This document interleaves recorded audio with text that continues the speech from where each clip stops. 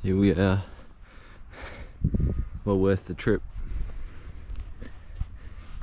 Had to push the bike all the way up there.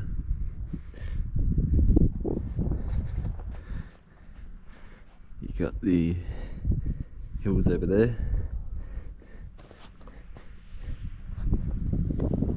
And the beach